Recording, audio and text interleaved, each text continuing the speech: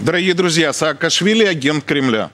Вот смотрите, его Может быть. представитель знаю. настаивает Я на не том, знаю. чтобы мы вернули Польше пять западных областей, Венгрии, Закарпатье, а Не Бессарабии, отдам. Бессарабию и Буковины, Румынии. Ну, судя по отдам. всему. Но если вам так не нравится, Украина стала именно в результате этих событий Вам нравится. своих исторических а вам границ. нравится раздел Дальше. А теперь Польши, смотрите, да? я докажу, что и Турчинов, и Зеленский агенты Путина или Миллера. Хотите «Газпрома»? Очень коротко Представьте, докажите, Европа пожалуйста. получает газ по одному газопроводу, который идет через Украину. Что нужно сделать, чтобы Европа захотела построить вокруг Украины другой газопровод? Но надо громче всех и раз в неделю орать, что в следующую среду Путин нападет.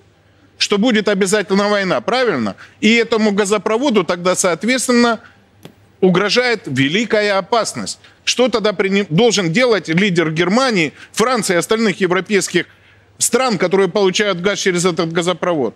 Прийти к Путину и сказать, построй вокруг них и делай с ним что хочешь. Ну, логично ведь. Но это ведь логично. Заканчивайте. Но они сами спровоцировали Германию и всю Европу делать так, 100%. чтобы они согласовали об одной Да, газопроводе. конечно. Дорогие Польша друзья, вообще в 1939 году Гитлера при чем спровоцировала. 39-м? Это же известный факт. Он доведен, этот дайте факт. Все, это все, это... Дорогие блин, друзья, Панове. смотрите, вот я, Как я до того, что. Украина спровоцировала их на то, чтобы они строили этот газопровод, А кто? А какая другая причина? Дорогие друзья, вот смотрите, Какая было другая? единое решение. другая причина в том, что они понимают, что это оружие, это способ Проснулся. шантажа.